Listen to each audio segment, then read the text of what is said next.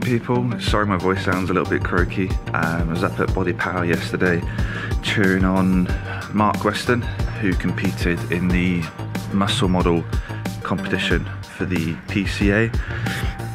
And today is his shoot. So I'm here at Bristol Road and it's bright and early, ready to set up and create some stunning images of Mark. He's in ridiculous shape and he placed third yesterday.